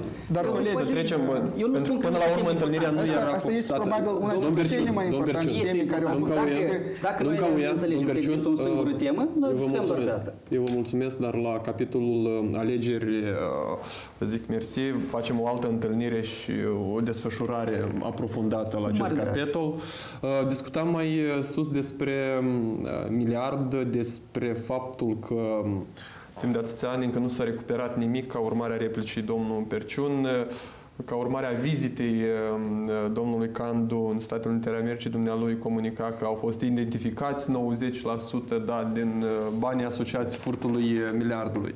În sensul ăsta sunt bani, um, uh, au- s-au identificat sursele uh, pe fonul unei demușamalizări sau ce s-a întâmplat, unde au fost ascunși până acum și ce a dus la faptul că acești 90% după atâția ani de nerecuperare au fost identificați. Și procesul de recuperare, de fapt, când va fi început, dat fiind faptul că nu au fost... Dragi prieteni, eu înțeleg suspiciunile dumneavoastră de, nu știu cum să le numesc corect, science fiction sau altfel. Dumneavoastră chiar credeți că uh, eu am acces la mai mare informații decât toată lumea o are și din mass media? A venit domnul președinte a Parlamentului, a spus foarte clar, și acasă și peste ocean că s-au depus toate eforturile. Am constatat și au constatat și guvernarea de atunci că nu este capabil, spre exemplu, la un astfel de furt să lucreze doar organele din Republica Moldova. S-a făcut apel la companii internaționale. A venit Crolul 1, a spus foarte clar cine a luat acești bani sau care sunt companiile. A venit Crol 2, a spus practic unde sunt acești bani. Acum, trebuie să admitem și noi că pe lângă secretul anchetei și alte lucruri care trebuie să înțelegeți foarte clar, dacă o probă nu este colectată corect, Chiar dacă toată lumea înțelege, dar este, nu este colectată corect, îi permite oricărui avocat, nu numai decât să fie cel mai bun, să meargă în instanță și demonstrează că această probă este nulă. Nu în sensul că ei nu arată adevărul, dar este nulă și nu o poți utiliza și contra uh, aceluiași șor și contra tuturor. Haideți, eu înțeleg că uh, acest uh, primar de Orhei o să fie vedeta emisiunii noastre și eu regret acest lucru, dar sunt o sumedenie de alte zeci de uh, persoane, personalități care au ocupat funcții destul de uh, sus puse și în administrația Băncii de Economie și în administrația celorlalte bănci, pe numele cărora sunt astăzi pornite, uh, pornit urmărire penală, sunt oameni deja condamnați, sunt niște bani. Nu putem să negăm faptul că o parte din ei, într-adevăr, sunt recuperați și din vânzarea uh, Toți bunurilor. banii care au fost recuperați au fost recuperați din Majoritatea Nu, hai să banilor. spunem toți. Nu. Dar care Ați bani au puteți fost să spuneți. recuperați? Și încă o dată vă spun, eu dați-mi nu am din aici care- uh, lista și aritmetica cât, câți bani Păcat, și păcat din toți reprezentanți Dar dată- partidului de guvernare care spune Corect, că el a eu început repre- recuperarea banilor și Corect, dacă am dumneavoastră început pretindeți recuperarea că sunt banilor. alți bani decât cei care au fost făcuți din uh, recuperația Recuperarea banilor vânzarea se activelor, rezumă vă rog la să ne răspundeți de unde. identificarea lor, identificarea instrumentului de a putea aduce înapoi și a procedurilor de a putea aduce înapoi. Cu părere de rău am constatat și a spus-o și domnul Candu că o parte din ei, nu toți, o parte din ei sunt în niște jurisdicții uh, unde accesul nostru ca și stat și ca și instrumente internaționale este un pic dificil. Dar noi o să depunem toate eforturile prin tot ce se numește diplomație economică, cooperarea cu statele care au controlul asupra acestor zone gri sau uh, acestor uh, bănci și alte structuri unde există acești bani. Important este să știm că uite, ei acolo există. Și noi trebuie să facem tot posibil Vreau ca să să vă spun putem să-i aducem că înapoi acasă. cel mai probabil domnul Acum- Candu, dacă, aici, dacă tot pe subiectul recuperării banilor, se poate să intervin? Să- Și încheie domnul Caue Ah, mesajul pardon, și... vă rog. Poftim. Spuneți. Vă rog. Dumneavoastră ați întrebat uh, cei 90% care au fost deja identificați. Uh, Probabil domnul Candu a privit atent în propriile buzunare, în buzunarele domnului Plahotniuc, în buzunarele altor persoane din Partidul Democrat și rapid le-a identificat. În egală măsură, lucruri cu care eu sunt de Domnul acord, președinte, însă, lucruri cu care eu însă înțelegeți sunt... că aduceți cumva lucru cu care o eu- învinuire lucruri foarte cu- clară despre faptul că unul sau alt lider a Partidului Probabil a fost Democrat implicat. nu doar probabil a fost dar implicat probabil în a fost sau totuși el s-a uitat la dânsul în a fost buzunar că le- implicat în furtul Dragi miliardului. prieteni, uite, a fost faptul că implicat în Maia furtul Sandu a miliardului. făcut parte din guvernul Acum, care a votat uh, sau a contribuit la vreau furtul să zic miliardului, un- asta este fapt. poate să zic un lucru care eu Faptul sunt de că acord Maia cu Sandu a dumneavoastră. zburat la Doha pe banii lui ușor, asta este fapt, demonstrat. Vreau Iar să ce vă spuneți dumneavoastră sunt doar niște spun, suspiciuni. uh, Domnul Haideți Călăi, totuși vreau să să vorbim vă cu spun fapte. un lucru cu care eu sunt de acord cu dumneavoastră. Pentru o schimbare, pentru o schimbare în, în această emisiune. Da, unicul lucru este că recuperarea acestor bani, din păcate, va fi posibilă doar cu implicarea organismelor internaționale și a partenerilor externi.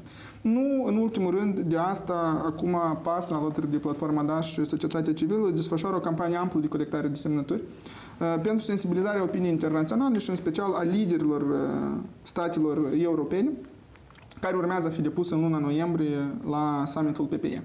Uh, Vom merge acolo uh, pentru a cere implicarea uh, partenerilor europeni în recuperarea acestor bani, pentru că pentru noi este foarte clar că instituțiile din Republica Moldova la momentul de față nu au capacitate și nici dorința să o facă. Chiar dacă, cu siguranță, eu cred că îi cunosc unde sunt banii. Întrebarea este Dar de ce spune ei până lumea, acum, că știe de ce lumea ei până unde acum nu-i, nu-i recuperează. Uh, și aici poate avem un punct, uh, aici avem un punct unde pare că suntem de acord. Este evident că implicarea uh, partenerilor externe este absolut necesară și noi facem tot posibil pentru ca să- să-i sensibilizăm și să cerem uh, implicarea lor în acest proces, pentru că această guvernare timp de patru ani de zile, dincolo de declarații despre faptul că se lucrează, se lucrează, într-adevăr, depunem eforturi. Am contractat compania Kroll 1, după care tot domnul Candu a publicat uh, primul raport, refuză să-l publice pe a doilea. Dincolo de aceste declarații interminabile, din păcate nu s-a făcut nimic pe, pe acest subiect. Poate până la alegeri, uh, anume pentru a demonstra eficiența uh, acelor, eu știu, relații, discuții pe care le-a avut domnul Candu în Statele Unite, veți reuși să recuperați mai mulți bani și atunci noi Să dea domnul. ne vom bucura. Sperăm foarte mult să după depunem mine, acest ar fi efort bine și să să demonstrați, recupereze toți banii. pentru ca să nu vă limitați doar la promisiuni, dar într-adevăr să puteți să despre- demonstrați că ați, ați Stimate domn reușit să domn readuceți banii în Eu Republica am Moldova. tot respectul față de dumneavoastră și echipa pe care o reprezentați și totuși, și totuși, haideți totuși să ne înțelegem. Uh, Există rețele de socializare, există profile pe care dumneavoastră i-ați numit troll sau nu știu cum, acolo da, eu admit, uh, legea cumva permite și cred că e bine că permite ca acolo lumea să dea cu supozițiile fără argumente. De aici totuși suntem la un canal de televiziune respectabil și atunci când facem supoziții de genul ăsta sau mm, glumi foarte simpatice, înțeleg eu dacă nu ar fi despre colegii mei, poftim, dar dumneavoastră spuneți despre că ghilimele, domnul Plahotniuc, de președintele exemplu. Parlamentului sau liderul Partidului Democrat Plahotniuc că cumva suspectați dumneavoastră că ar fi implicați. Dacă Suspectez. suspectați, încă o dată vă sugerez, Am fost foarte în respectuos. instanță, am fost, să la mergeți, procuratură, am să depus- depuneți peste tot am șorunii, depus nu pentru absolut. pont, dragi Nu prieteni. pentru pont, Nu absolut. pentru pont. Fiindcă dumneavoastră de obicei faceți doar Absolut pentru justificat. pont. Dacă în 2015 în Nu aceste funcționează. iluzii Nu funcționează credea Procuratura o Republica lume Moldova. destul de multă, da? câteva uh, mii de oameni, noi am văzut cât de multă lume crede în tot ceea ce spuneți dumneavoastră. Și la protestele din 26, și la protestul din 4 octombrie, unde dita mai mișcare de rezistență națională, pe care eu chiar am vrut să o văd. Eu am văzut uh, pagina dumneavoastră pe care uh, În comparație sute de cu oameni Partidul spuneau, Democrat, spu, sute de noi oameni spuneau am pe obținut Iufpas că 48%, o să vină 48% acolo. în alegerile și parlamentare. mergând acolo nu prea am Am văzut câștigat alegerile nimeni locale. din Iuf Pas și n-am văzut pe nimeni în afară de uh, Andrei Năstase, pe care n-a reușit să-l văd la ochi. L-am văzut după aceea, după ce a dat interviu la un canal, a spus că el nu se grăbește nicăieri și ne așteaptă, iar la alt canal a spus că el nu vorbește cu prostimea și înțeleg cumva este partenerul de coaliție a colegilor noștri. Deci, Băieți și fete, haideți să fim uh, oameni maturi și să înțelegem că uh, realitățile nu sunt pe rețele de socializare, realitățile sunt afară. Și voi nu sunteți băieți răi sau buni. Eu am mai spus odată, sunt oameni în uh, echipa dumneavoastră cu care mă- cu mare plăcere pot să discut și, într-adevăr, în, în, uh, în discuții pot să identifici niște lucruri uh, utile, inclusiv pentru Republica Moldova. Și asta invit eu să facem. Nu să ne acuzăm de nu știu ce lucruri, nu știu în care buznare și cine trebuie să uite. Haideți să stabilim foarte clar pe ce subiect discutăm și să venim cu, um, cu argumente. Acum, dacă tot uh, n-am reușit să dau o replică vis-a-vis de uh, manifestația pe care am făcut-o noi pe 4 octombrie, noi am anunțat-o. Noi am văzut că dumneavoastră v-ați anunțat pe rețea că sunt cel puțin vreo 500 de oameni spuneau acolo că vin. Asta e minunat. Zic, o să avem și noi ocazia să, dacă nu putem altfel, cel puțin în cadrul unui protest, să ne vedem la ochi. Nu am uh, reușit să, să ne vedem, nu nimic strașnic, eu cred că activitatea politică atât uh, a tineretului democrat cât și a tineretului din PAS uh, continuă și noi vom avea ocazia să ne întâlnim. Sugestia mea respectuoasă e să ne întâlnim la mese de discuție și nu întotdeauna în platourile de filmare unde fiecare totuși încearcă să-și uh, demonstreze um, veridicitatea expunerilor și argumentele politice, dar să facem eforturi comune pentru a identifica soluții sănătoase, soluții aplicabile, înțelegeți? Pentru toți și pentru fiecare. Fiindcă este ușor să spui că statul nu a făcut nimic. Dragi prieteni, dar haideți să ne uităm la cifre și eu vreau doar foarte puține. Uitați-vă atent. Salariul mediu pe economie. Ianuarie 2016 4.000 și un pic de lei, azi 6.000 și un pic de lei. Drumuri făcute în această țară, vreo 700 de kilometri în toată existența acestei, acestei țări, adică Republicii Moldova, anul acesta sunt 1600. Ne dorim în anul următor 2600. Și nu e problema noastră, prieteni. Problema e în aceea că majoritatea covârșitoare acestor drumuri sunt făcute din banii din bugetul statului. Asta e important. Absolut, din banii da, fiecare dintre noi. Apare întrebarea, din taxele, unde din taxele erau acești bani când Maia Sandu era membră în acele guverne care astăzi tot ne acuză pe noi că nu știu cine o fură Unde erau acei bani când Unde Vasile Botnar era Unde ministrul transporturilor din 2013 până în 2015? indicații prin telefon Unde erau acei bani când Partidul de la Democrat din Vamă și de la 2009 Fi. s-a aflat Dragi la prieteni. guvernare? Am Care să este vorbesc și eu ușor, uh, dar, a treia suntem voce unici. pe două voci, pentru că văd că așa se și comunic până la această oră. Uh, Trecând uh, ușor pe reforme asociate și alegerilor, așa care urmează în februarie, uh, Aș vrea pentru a să- avea da. drept la replică am să-mi zic mesajul și chiar vă rog să legați. Um, Au fost și careva sondaje recent comunicate, au dat un scor de peste 10 sau 11%, dar pentru PAS, de fapt, și Partidul Democrat, cam, cam același scor apropiat. Bine, până atunci, uh, întrebare vis-a-vis de reforme și proiecte care le comunica domnul Cauia. În cazul în care PAS sau Partidul la opoziție ar lua un scor cra- crescut sau mare, uh, care proiecte pornite de către actuala guvernare ar fi promovate, dezvoltate și duse mai departe în acest sens? Da, referitor la sondaje, pentru ca să fie foarte clar, în această țară, din păcate, există câteva agenții de sondaje care fac sondaje și există câteva agenții de sondaje care desenează sondaje. Și de regulă, în toate sondajele desenate, Partidul Democrat are un scor de 10%. Um, Este important cetățenii să știe că, din cel puțin din informația pe care noi o avem, și poate domnul Căuie o să infirme sau o să afirme, în uh, luna septembrie ați avut un sondaj intern, Partidul Democrat este la circa 3% la moment. Anume de aia a avut și loc și acest rebranding, această reorientare spre Moldova în momentul în care a devenit evident că vectorul pro-european Am nu o mai singură poate impresie, fi că un dumneavoastră știți cal, mai bine pe nu intern poate și fi vrem să un observați cal, senatul nu poate realitatea fi în care un credeți. cal de bătut uh, pentru Partidul Democrat, cum a fost de acum Nu, bine, până și să încolo, vorbim nimeni în nu mai bază de crede. argument concret, Exact. vis-a-vis că, bine, iată, Stați, PPD eu- nu trece Care a pragul fost care electoral. din proiectele Eu am- guvernării actuale dumneavoastră o să le continuați? Era importantă Puteți să această spuneți unul precizare sau pentru că două Liviu a sau făcut patru. uh, mențiunea asta pasageră despre cele 10% pe care le are Partidul Democrat și am simțit important să comunic cetățenilor o informație pe care noi o deținem uh, la, la etapa, la etapa Sondajul dată. e rai. Așteptăm Este sondajul, un desenat sau nu? așteptăm, nu este un desenat și așteptăm sondajul AERAI care va veni în foarte în curând și o să ne spună care sunt rezultatele, Bocul, ultimele, este ultimele, un, uh, ultimele sondaj, uh, rezultate. desenat.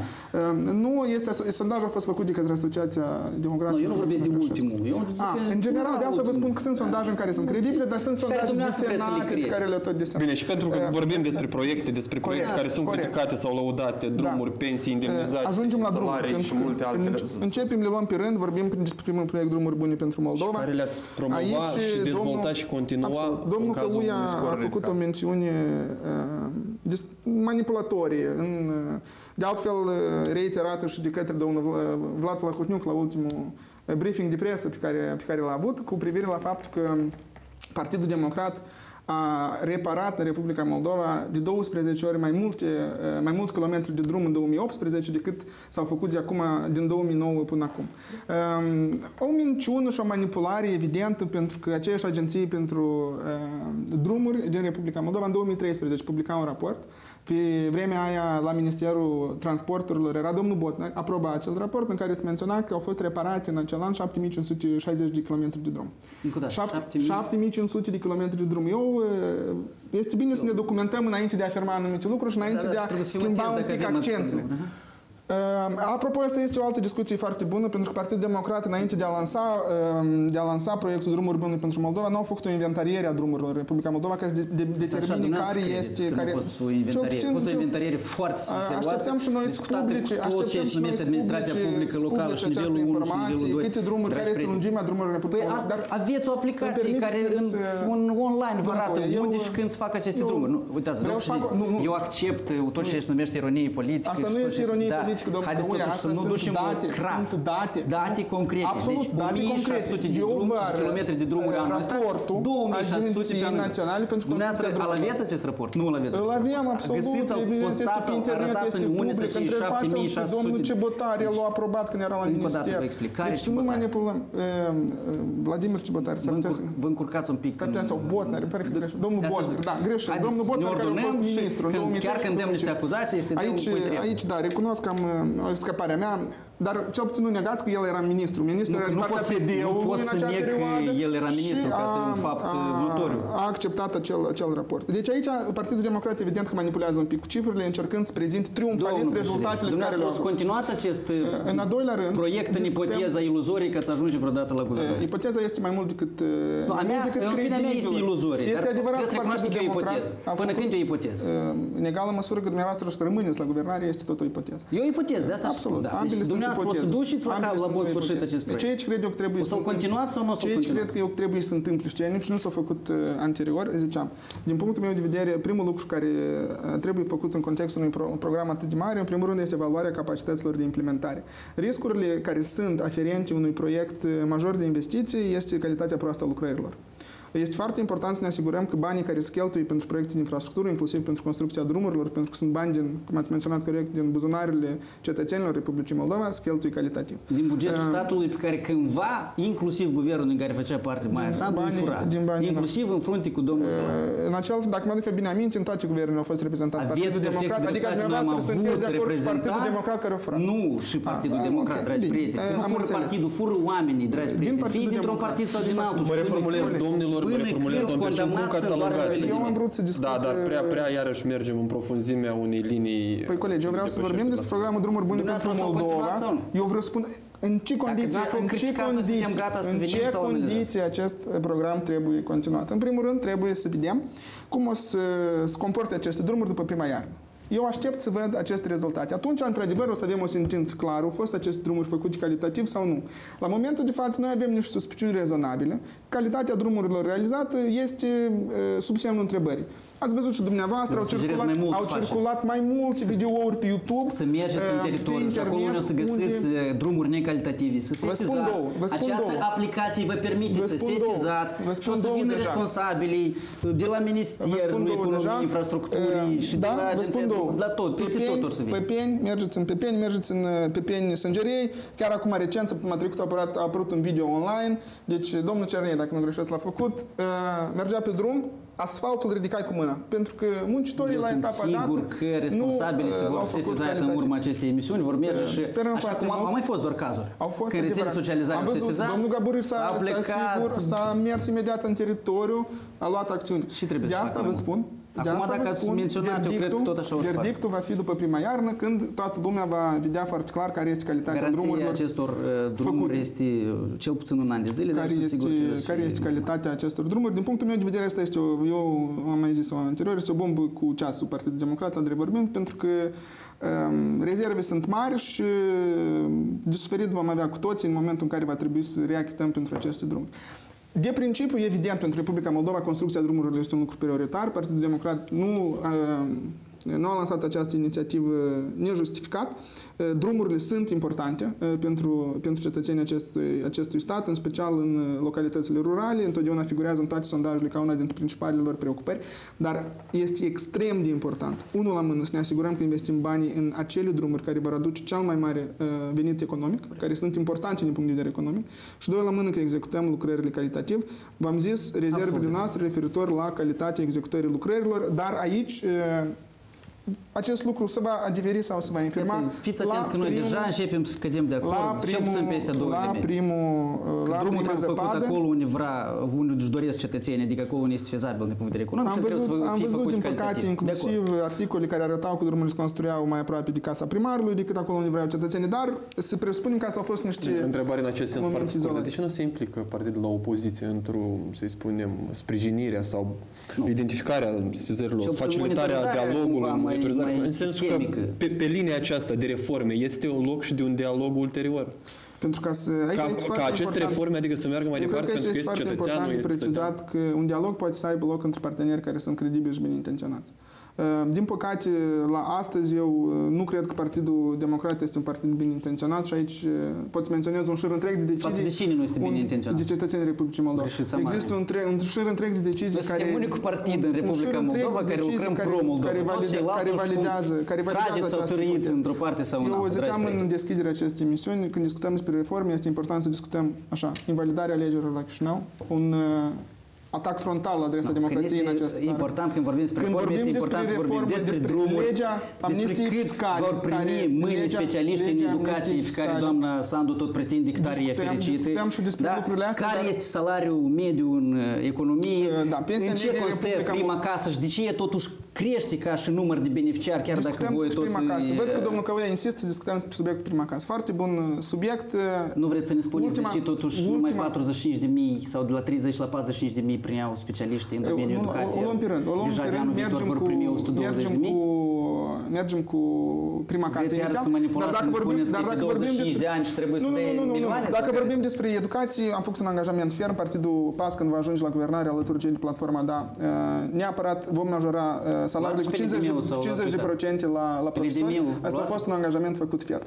Uh, Și o să faceți, o să creșteți salariile la profesori La toate cu- cadrele didactice cu 50 de procente. Da, ce părere aveți Așteptăm despre foarte mult. indemnizații? Dacă vorbim despre educație și ați luat subiectul acesta. în- Indemnizația, în absolut, moderare. este o, este o problemă mare. Uh, Trebuie să vină noi specialiști în sistem. Sistemul se află în colaps. Vreau să-i aduc aminte domnului Căuia, de exemplu, în 2015, în Chișinău, lipseau 250 de cadre didactice. La ultima conferință pedagogică din luna august s-a devenit că în Chișinău, în 3 ani de guvernare pedistă, deja uh, lipseau 850 de, de cadre didactice.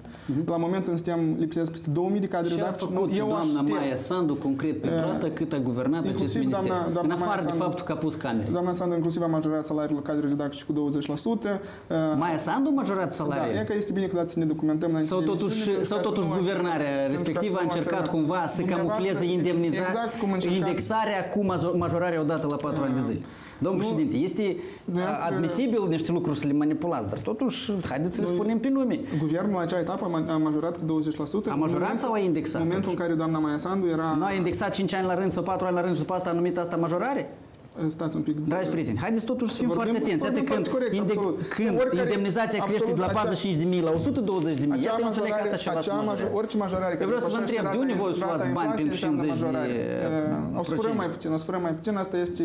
Furați și astăzi și mâine o să furați mai puțin sau cum? Uh, Noi la momentul de față nu suntem la guvernare. Cei care fură Dar în dumneavoastră această aveți țară impresia, sunteți încă o dată vă dumneavoastră. explic, nu fură Din păcate, partidele, fură un om. Corect, care, Răspunderea care, este nu știu, care nu știu de ce ei să tind Fie să, de la tind să tine din asocieze, echipă sau din tind alte să asocieze în dumneavoastră din Partidul echipă. Democrat la moment Dumneavoastră cei care încercați, dragi se dedau la prieteni, să aceste asociați nu știu practici. care furt cu nu știu cine. Uh, Dar eu vreau să Haideți revin la vedem- educație. Da, la educație, la pentru că este un subiect da. foarte important. Foarte important. Uh, Intrarea noilor specialiști în sistem este absolut prioritară. Aici uh, majorarea ind- uh, indemnizațiilor pentru tinerii specialiști Este este un rezultat evident un consistent. lucru important, dar mult mai important pentru tineri specialiști, din păcate, cât sunt în sistem în fiecare an, știți?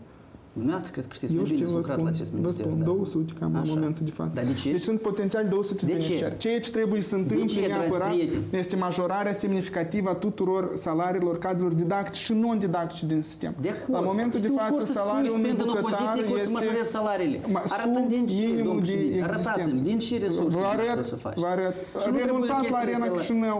200 de milioane înseamnă de să lei. renunți la Arena 200 de milioane de lei pe care Este investiți un într-un proiect care investițional trebuie să existe personal nu doar în Chișinău, dar și în Republica în, Moldova. în dragi politică prieteni. și în guvernarea unui stat trebuie prioritizate lucrurile. Eu cred că este Noi- mai important acești bani să fie dați Prioritatea pentru numărul unu a salariile, guvernului pentru actual, salariile ca să spun cadrelor guvernul Filip. didactice și nu spre Care Arena Chișinău.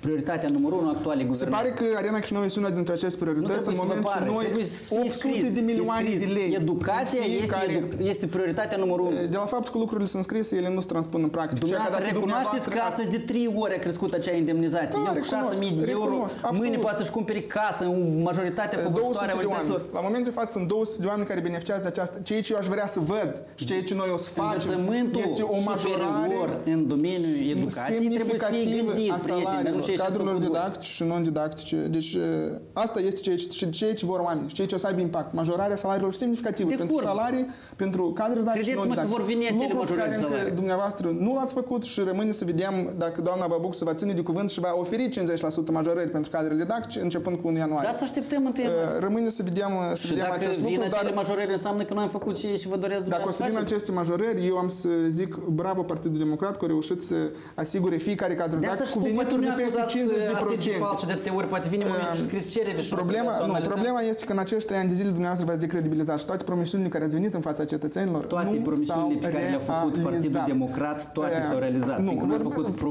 pro, eh, promisiuni foarte Partidul clare, Democrat din momentul, în care, realiste. din momentul în care a venit la guvernare a declarat că Republica Moldova se va apropia de Uniunea Europeană. Mă tem că eh, odată cu invalidarea N-ați alegerilor de văzut astăzi Chișinău, conferința de presă? răpirea cetățenilor turci, eh, promulgarea vă amnistiei sugerez fiscale. să fim mai atenți Ați cu văzut noțiunea de dumneavoastră, răpire? ați văzut dumneavoastră Cine re- promovează reacția Parlamentului uh, European, introducerea în starea textul, textului finanțării constituțional a și- uh, sitagmei integrării europeană? Cine este cel partid? Dumneavoastră puteți promovați Cine va multe pune lucruri, dar în aceasta momentul în pe care ordine de zi? Parlamentul European, pentru prima dată în istoria Republicii Moldova, Dragi adoptă o prieteni, rezoluție Nu trebuie prin să care mințiți. critică, În Parlamentul prin European care astăzi popularii critică europeni sunt majoritari și asta nu evident. înseamnă tot partidul, nu înseamnă tot Parlamentul. Acea, eu vă aduc aminte că acea rezoluție a fost semnată inclusiv de majoritatea, Ce înseamnă eh, majoritatea? majoritatea deputaților care au votat din eh, Partidul Socialiștilor European. Domnul Mai mult ca atât, doamna Mogherini, din ce partid face parte? Nu este din Domnul- aceeași familie politică ca și domnul dumneavoastră. președinte. Un promotor important nu al trebuie acestei iar să rezoluții. manipulați. Da, Eu a nu fost o manipul- rezoluție exact. care poate fi interpretată Ca și urmare care a are în căreia textul Republica său nu Moldova doar s-a- condamnări. nu mai primește 100 de milioane de euro. Așa. E adevărat. Asta e datorită E faptului timpul, că dragi dumneavoastră prieteni, să ne ați- suflecăm mâine și să constatăm că banii ăștia noi avem acasă. E, Trebuie pur și simplu nu, nu, nu. să-i adunăm și Ceea să-i ce- direcționăm ceea ce ar acolo fi unde trebuit trebuie. să facem este să ne asigurăm că acel, acel ajutor cu care Uniunea Europeană poate să vină pentru dezvoltarea Republicii Nu Moldova, sunt noi îl doar ajutor, sunt valorificăm. și credite. Dar în momentul în care uh, noi alegem doar să cerem bani, dar să nu respectăm niște norme elementare Domnul când vine președinte, vorba de Haideți un pic democrație. să ne maturizăm și să asta credem în deja această țară. Avem înseamnă- 27 asta de ani, noi deja putem cu proprii înseamnă- resurse să facem multe alte lucruri. dar mie îmi pare irresponsabil în momentul în care tu ai un partener care poate să te ajute și să accelereze dezvoltarea. Mea să credeți că în Republica Moldova noi nu avem ce face cu 100 de milioane de euro în Cum plus? n-avem? Eu 100 tot cred de că nu avem miliarde ce avem. face cu 100 de Important miliarde în este plus. totuși să De asta fie este oferit important să corect facem și nu toate ca și eforturile. uh, credit, una la mână și Ei doi, nu sunt ca nimeni nu a credit. spus. Acum asta e nimeni așa, nu a o spus- încercare a schimbarea accentelor, Da, în atent. stil pedist. Nimeni n-a spus că Uniunea Europeană... Nu, ce înseamnă stil pedist? Nu, Dar pentru că haideți să ne sunt respectăm. uh, Nu pot să zic în stil pasist. strugurii, sunt strugurii care Deci nu pot deja spune sunt în acri. stil pasist că Strugurii au devenit sună un pic cum acri, sună. respectiv nu mai Domnul putem vorbi președinte, despre ei. deci nimeni nu a spus că nu vor oferi uh, acești bani. Nu vor oferi în acest an. Vine 2019 și noi vom rămâne la guvernare, vom munci liniștit și credeți-mă că Uniunea Exact Europeană așa cum din mult și-a ați dorit compromis un până acum partid parcursul credibil european, la guvernare. o să continuați să-l compromiteți. Cine l-a Vis-a-vis de compromis parcursul urmează să vedem. european, Filat care a s-a furat dit uh, încă una. ceea ce a furat Domnul și a Crăciun, pedalat pe acest... zic- uh, zic să tragem din o care, linie pe printre aceste altele, subiecte. Doamna președinte Putem pare că a să făcut uh, revenim parte. la subiectul prima casă, de exemplu, dacă este și că este interesant pentru Avem domnul timp un Căuță. pic, că prima casă chiar e important. Deci ce aș vrea eu să spun aici, ce ar fi trebuit Asta e să... unul din în scurte proiectele pe replici. care pasul ipotetic, dacă vreodată vor ajunge la guvernare, pe lângă drumuri bune și prima casă va fi continuat. Mai mult de atât, eu aș spune că ceea ce noi am fi făcut dacă noi am fi fost în, loc- în uh, locul Partidului Democrat, pentru că la moment sunt doar 500 de beneficiari și este foarte important să contextualizăm această cifră. Și putem să o raportăm fie la numărul de beneficiari a unui program similar în România, care, uh, deci lunar în Republica Moldova cam 71 de tineri și tineri familii beneficiază. În România Acum. vorbim despre 300 de, uh, de cazuri dacă raportăm și ținem cont de, de numărul populației. Respectiv, aici rata de adopție a programului este mult mai mică, este de până la 5 ori mai mică. Păi abia a decât început în România. programul, dragi prieteni. Mai mult ca atât, este foarte important pentru noi Datorită să dumneavoastră și a raportăm- tuturor televiziunilor Domnul Căuță, dați-mi voie la să care termin. Dați-mi dumneavoastră voie să faceți urmă, referință, pentru că el cumva se dumneavoastră decredibilizează, dar noi vom triumfalist, reuși. triumfalist îl prezentați, de parcă asta ar fi uh, cu adevărat soluția pentru menținerea tinerilor aici în Republica Moldova. Tinerii au nevoie de locuințe mai ieftine, dar din păcate, uh, în momentul în care ei sunt puși în situația să achite 3-4 mii de lei pe lună uh, rata la bancă. Nu e pentru obligatoriu dânsii, trei, pentru patru dânsii aceste credite nu sunt suficient de, de interesante, nu sunt mai suficient de ieftin atractive. bani decât Vorbim astăzi prin intermediul prima casă, în dar, Republica corect, dar Moldova nu a întrebarea este, existat. dar puteau banii ăsta să fie și mai ieftin. Și eu vă zic, da, și asta este ceea ce ar fi putut să Spuneți-ne fac și pas. nouă Vă spun. genialitatea soluției, Unul la poate o mână- preluăm. Unul la mână ceea ce ar fi, aș fi făcut eu cu siguranță, m-aș fi interesat care este profitabilitatea companiilor de construcție în Republica Moldova și dacă există acolo posibilitatea de a aloca la preț mai ieftin o anumită parte din fondul locativ nou construit pentru tineri. De exemplu, eu aș fi vrut să văd Partidul Democrat să vină cu asemenea analiză și ne spună Nu prea companiile miroase din- a democrație atunci când companiile impui de companiile, repu- companiile de de construcții să-ți construcții dea din Republica un Moldova. spațiu locativ cu un preț sau cu altul. Nu aveți impresia că nu Mai prea mult, miroase a eu, capitalism și eu a cred economiei de piață? că companiile de construcții au anumite probleme în vinde. Deci aici trebuia de purtat o discuție cu ei. Poate și de determinat dacă- instaurăm totuși un comunism, luăm Ați de la văzut- toți toate ați- și împărțim la fiecare Dumneavoastră și ați să fie văzut foarte vesel. bine că piața de imobiliare în Republica asta vreau să Moldova, spuneți. re- piața de imobiliare în Republica Moldova scade. Scade pentru că cererea Nu este știu, mică. nu sunt eu și mai mare specialist în Respectiv, imobiliare, dar respectiv cred că s-ar putea scade. să fie Scade prețul sau scade inclusiv- cererea sau s-ar- scade piața în general? Fiindcă pentru construcții, mersi, Scade bun- cererea, mulțumesc, pentru, bunul Dumnezeu. scade cererea pentru, pentru apartamente și scad prețurile prin urmare. Cum scad prețurile, dragi prieteni, că eu tot îl aștept să scadă și el cu 2-3% scade în cu fiecare 2-3%, an. Dar iată, exact. banul care Dar ne-l iată, dădea ceea ce banca, ar fi într-adevăr, trebuit- era foarte scump. Ceea ce ar fi trebuit să se întâmple este inclusiv o analiză pe partea asta. Dacă s-ar fi putut de redus costul apartamentelor pentru tineri. O anumită parte a fondului locativ, dacă s-ar putea sau nu s-ar fi putut de... uh, Domnul președinte, de veniți cu ieftine. această propunere Doi la consistentă. mână. Uh, Vă ziceam, a- de asta, asta anume și explic uh, rata mică de adopție în rândul tinerilor acestui program. Creditele rămân așa scumpe. Este 6, 6,5%. La un credit de 50 de mii de, mii- 50 de, mii de, uh, 50 de milioane de lei, 50 de mii de lei. 50 de mii de euro, ați vrut. 50 de spuneți mii adică de- un milion de lei, eu nu Eh, știm nu, ipoteza nu, nu, asta. nu, nu este la un milion de lei, vreau să zic în, în jumătate, deci la, eh, 50, la, La 500 de mii la de lei. 25 de mii de euro. La 25 de mii de euro, la 500 de mii de lei. Um, rata dobânzii astăzi eh, este de circa 3500-4000 de lei. Venitul mediu în Republica Moldova este 6500 de lei, net e 4500. Deci un tânăr care câștigă un venit mediu, atenție, un venit mediu, deci nu sunt venitul lui așteptat în mod normal în, într-un job, ar trebui să achite până la 80% din banii pe care îi are pe un asemenea credit. Dacă Și el evident este că unul, nu- dacă și- sunt doi în familie și dacă, Dacă mai au ei și sunt- ajutorul și dacă ei părinților mai au care și un asigură copil, cele și 10 dacă și ei au și- 20%, dragi și dacă prieteni. mai ei au și un Dumneavoastră copil, calculați de dată din absolut. maxim, da? Maxim care poate să-l ia, asta Nu, 500 de mii. Nu, nu, nu, eu cred din 25.000 de euro, deci Domnul jumătate președinte, din e suma maximum. De jumătate din suma Maxim, nu mai mult de 500 de mii. Bun. Deci maxim. Eu vă zic Dar cine a jumătate spus că din trebuie să iei sumă. 500 de mii? Poate să iei mai Ești puțin. 200 de mii, 300 de mii. Domnul În marea Cauie, majoritate a da, raioanelor, o secundă, ultima frază, în marea majoritate a raioanelor din Republica Moldova, acolo noi am vrea să se ducă lumea, să trăiască, nu doar tot, tot, tot să concentreze în municipiul Chișinău, cu 250 de mii îți iei o casă decentă. Îți iei- Îți iei o casă din decentă, punct de vedere- domnul președinte. Vă invit să Domnul vedeți asta. Căuian, e domnul preț real. Tăciun, uh, Partidul Democrat uh, este deschis pentru a examina o listă de recomandări aduse fie pe Întotdeauna. pas, fie Și partidul de întotdeauna. opoziție. Da, Foarte absolut. bine. E, Nu doar o, o listă de recomandări. Noi suntem gata să ne întâlnim cu colegii noștri, nu numai de la PAS, de la DA, de la PLDM, de la toate partidele, inclusiv colegii de la socialiști. De la... Avem 45 de partide, drept că nu toate au uh, organizații de tineret. Noi suntem gata să ne întâlnim. Am, am făcut anul trecut, nu prea ne-a reușit. Anul ăsta văd că a avut loc și a doua întâlniri, poate avea loc și a treia întâlniri. Deja pe subiecte concrete și aici chiar fără nicio ironie. Nu numai decât să vin eu cu domnul președinte să facem mai multe discuții politică sau discuții sau analiză cu tentă politică, poate să fie delegați colegi de-ai noștri, începând de la juriști și finalizând cu economiști sau specialiști în asistență socială, care într-adevăr să genereze niște lucruri frumoase. Și lasă fie date de la cine temie, ca să nu fie supărare că ne aparține nouă sau aparține lor. Că dacă până la urmă e un bine pentru uh, întreaga societate și există niște idei bune, deși să nu fie livrate ca ele să fie realizate. Poftim! Da, astăzi noi suntem la guvernare, noi suntem gata orice idee bună și realizabilă să o punem în practică, dacă ea există.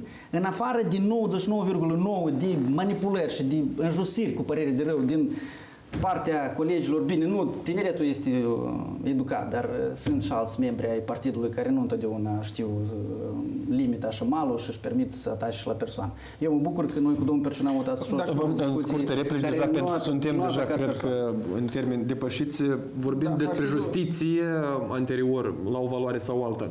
Ce părere ați împărtăși vis-a-vis de acel proiect de lege care a fost comunicat și astăzi de votarea judecătorilor de către popor? din punctul meu de vedere, este o inițiativă absolut populistă. Ceea de ce are nevoie Republica Moldova este de o reformă a justiției serioasă și nu de inițiative uh, de asemenea gen. Um, vă aduc aminte telespectatorilor că Republica Moldova a ratat 28 de milioane de euro din cauza faptului că Partidul Democrat din 2015 nu a reușit să realizeze o reformă credibilă în justiție și partenerii noștri europeni, care zic că eu sunt destul de obiectivi în acest sens și nu zice opoziția, dar au zis partenerii europeni că n-ați făcut suficient pentru ca să reformați justiția și în așa fel am mai pierdut 28 de milioane de euro pe lângă cei 100 de milioane despre care ziceam, ziceam anterior. Cred că ar trebui să lucrați în acea direcție și nu veniți cu asemenea inițiative care poate dau bine la public, dar nu vor asigura o calitate a justiției aici acasă. Bine. Și să începeți inclusiv să analizați în ce măsură performează această justiție, dacă revenim șor să află psihotarea și dacă ne trezim după 27 de ani de independență într-un stat în care alegerile pot fi anulate pentru că așa își dorește o persoană. Cât de aproape, de fapt, domnul Căuiu, asta ar fi de tehnocrație sau și vis-a-vis de această întrebare, o întrebare luată din comentariile aduse la anunțul care l-am făcut cu prezența dumneavoastră de astăzi în emisiune. Ce se, face, ce se va face cu judecătorii de sistem în cazul în care vor fi aleși de popor? O să vedeți proiectul, toate lucrurile vor fi explicate acolo. Este o inițiativă atât timp cât, într-adevăr, în 27 de ani, tot ce se numește reforma justiției, toate guvernările au încercat să o realizeze și mari performanță sau remarcabile performanță în acest segment, nimeni nu se poate lăuda. Noi venim cu o propunere care este una radicală, și care urmează să fie discutată și de experți, și de cetățeni, și de toată lumea și o să vedem care va fi rezultatul. Există nu tocmai foarte multe exemple de acest gen. În unele cantoane din Elveția, în unele regiuni ale Japoniei și în unele state din Statele Unite, ceea ce îmi vine acum și ceea ce am reușit eu să, să mă documentez. Dar atât timp cât sistemul poate nu reușește, haideți să vedem, poate într-adevăr judecătorii de la prima instanță trebuie și merită să fie aleși de către popor ca să aibă o responsabilitate mai mare, fiindcă unica ce li se imputează acestor 400 și un pic de judecători din sistem e faptul că ei sunt corupți și asta le imputează toți și fiecare, respectiv ei se asociază cu guvernarea și nu poți spui că nu poți să te asociezi cu ei. Chiar dacă ei sunt independenți, inamovibili și imparțiali, dar ei sunt partea statului ca și putere judecătorească pe, pe lângă cea legislativă și executivă. Și asta ne afectează și de ce încercăm să venim cu... Da, nu se bate cam cap în cap, domn Cauia, cu acea reformă, cu remanierea guvernamentală, să zicem, bazată pe tehnocrație. Remanierea guvernamentală ține de puterea executivă, fiți foarte atenți. Deci, în puterea executivă putem să intervenim de câte ori avem nevoie, fiindcă este absolut legal. În puterea judecătorească nu este atât de ușor să intervii, fiindcă până la urmă trebuie să respecti acel principiu a separației puterilor în stat, fiindcă este Poate să fundamental. o soluție, domnule Căuia, care o să fie mai, mai și mai implementabil. Ignatius, și eu cred că domnul o cunoaște pentru că este un specialist, un jurist uh, suficient de bun.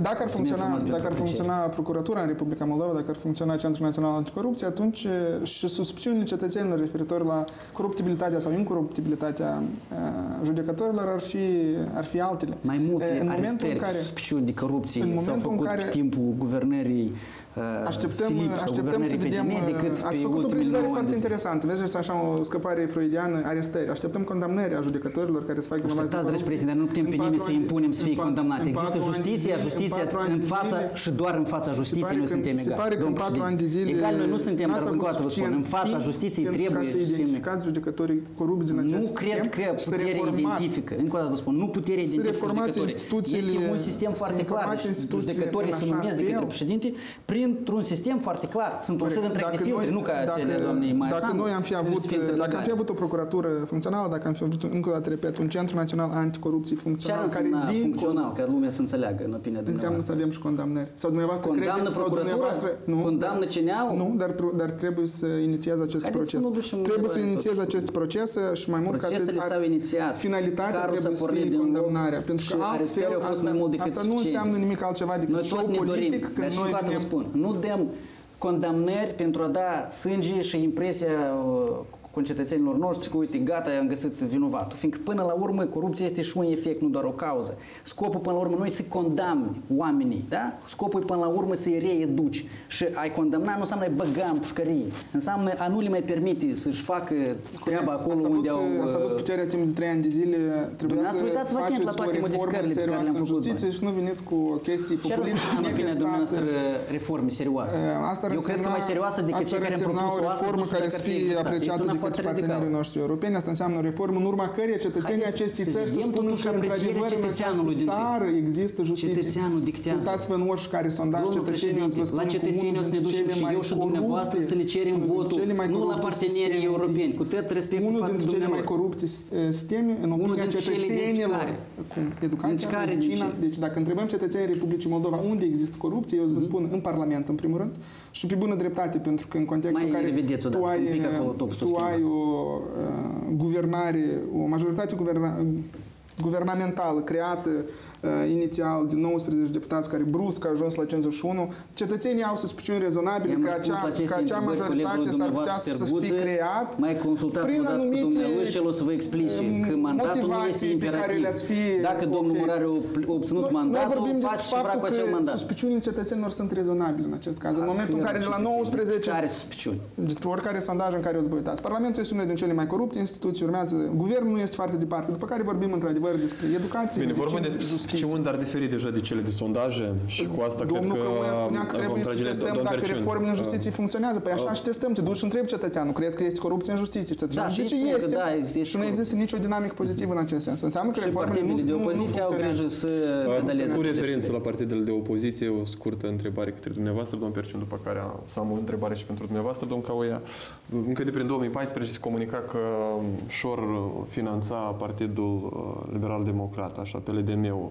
Astăzi, ca urmare a discuției, s-a exclus o admitere a complicității PLDM-ului în furtul miliardului, așa este, da?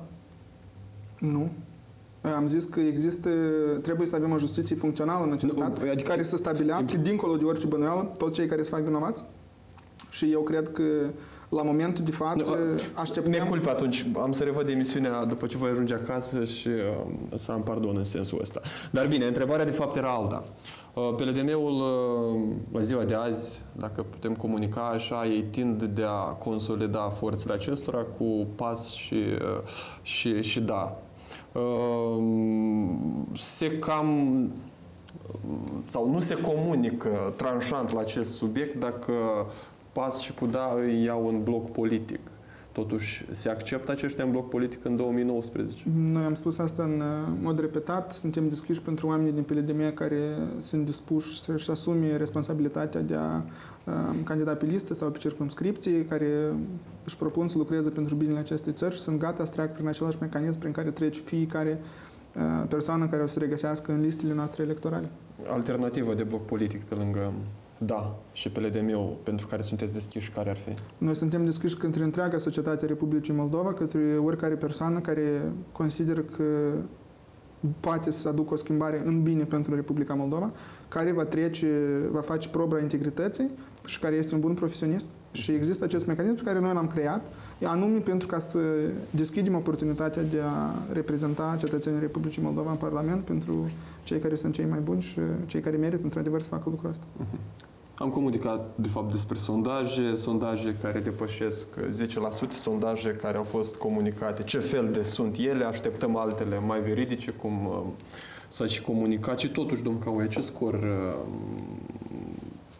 uh, pe ce scor mizați la alegerile din 2019 până la acel sondaj care va apărea de la IRAI sau uh, altul care ar fi? Eu de ce? sunt- Pentru că s-a comunicat despre unul anterior sunt și nu sigur este că recunoscut sondaje și vor este o apărea cotă de multe și- 3% sau nu știu cât care este comunicată de către colegi. N-am văzut acel sondaj de 3%, am înțeles că este unul intern a Partidului Democrat, din care eu fac parte, dar n-am avut acces și cu atât mai mult n-am văzut acolo 3%, dar Adică mai ați avut- ați avut mă acces duc la un sondaj, dar 3% Mă duc la n-ați colegi văzut. și întreb, poate într-adevăr acolo undeva eu n-am fost atent sau poate într-adevăr a fost un sondaj care s-a strecurat cumva pe lângă Verificați. mine. Ehm, Noi ne așteptăm, noi am avut în uh, 2014 15,8. Uh, Sperăm în acest, uh, în acest scrutin electoral din 24 februarie să obținem un rezultat de 25% și pentru asta o să muncim uh, mult. Uh, Ca fiind un partid de guvernare, noi nu o să blamăm uh, colegii din opoziție așa cum o fac ei, noi o să venim cu rezultate concrete, cu cifre concrete și cu rezultate palpabile. vom încerca să, și vom reuși să convingem uh, cetățenii să ne ofere încă cel puțin un mandat uh, în cadrul căruia noi să putem demonstra că în Republica Moldova se pot face lucruri frumoase atunci când cetățenii se solidarizează, când uh, opiniile geopolitice trec pe planul 2 sau 3, iar interesul măriei sale cetățeanul este pus în prim plan. Uh, fiecare își poate desena orice gen de obiective. Noi tot înțelegem că asta depinde de capacitatea noastră de a convinge cetățeanul, iar noi vom veni și vom convinge nu prin vorbe, ci prin fapte concrete, cu rezultate concrete. Și face, pentru a face colegii mei, de fapt, știre unitară ulterior, vorbind despre un scor anticipat de către Partidul Democrat, întrebarea ar fi ce scor pretinde a avea pasul sau pas individual sau pas și cu partidul da sau poate și chiar cu cei care îi așteptați sau îi acceptați la dialog? Pasul alături de platforma DA, în viitorul bloc care se va forma alături de reprezentanții societății civile. Noi vom intra în aceste alegeri pentru a le câștiga. Noi vom intra în aceste alegeri pentru a prelua guvernarea și din toate vizitele noastre în teritoriu vreau să vă spun că există un mare apetit în rândul cetățenilor pentru ca să vadă pe altcineva în fruntea acestui stat. După trei ani de zile în care s-au convins că această guvernare nu poate livra de la bună stare până la democrație în Republica da. Moldova. Să fim atenți că Și până la un răspuns evaziv revin la întrebare. Eu am zis că noi, noi mergem pentru a câștiga, respectiv să fim atenți, scorul pentru partid plus scorul pe, pe circumscripții. Deci noi cu siguranță vom avea în uh, următorul Parlament uh, majoritate confortabilă pentru a instaura un guvern. Dar eu am vorbit de scorul partidului, care eu, eu sper să fie numai mic de 20. Mine deja mă bucură faptul că domnul Căuia, comparativ cu alte declarații făcute anterior de reprezentanții Partidului Democrat, au mai revizuit un pic așteptările lor electorale, s-a ajuns la 25%. așteptarea mea personală, nu înseamnă Vă aștept, sper să ne mai întâlnim în studiouri și să, să, să discutăm inclusiv pe acest subiect data viitoare, să, să, să ne ajungem la 15%, la 5%. După alegeri. Uh, eu cred că noi să ne mai întâlnim în studiu, inclusiv până la alegeri, pentru că să dezbatem subiecte importante pentru cetățenii Sugerez o singură... Noi mergem în campanie și aici vreau încă să fac Sugerez o singură lucru. Data viitoare când ne întâlnim cu domnul președinte, vedeți că noi avem foarte multe lucruri de discutat și cu părere de rău ne întâlnim des. Să îngustăm la unul sau două subiecte, ca atunci, mă rog, putem să venim și noi cu statistici, cu argumente, cu nevoi, dar atunci când deviem de la vector geopolitic până la suspiciuni de a calităților unor lideri ai noștri sau ai domnilor, lucrurile totuși, am impresia că pentru telespectatori sunt un pic pic neclare. Și eu totuși am pretenția și chiar naivitatea să cred că noi ambii suntem uh, tineri educați în Republica Moldova și care putem să venim cu argumente bine, bine structurate. Și eu, eu o propunere ca la următoarea, că de următoarea dată să venim cu un subiect maximum două și atunci eu cred că noi am fost pentru dezbateri pe argumente, de asta... Și eu vă mulțumesc, stimați invitați, vom ține cont de sugestie, pentru că este o necesitate. S-a și văzut ca urmare a emisiunii de astă seară. Ulterior vom și, cred, cronometra, să am pardon, în replică pentru fiecare.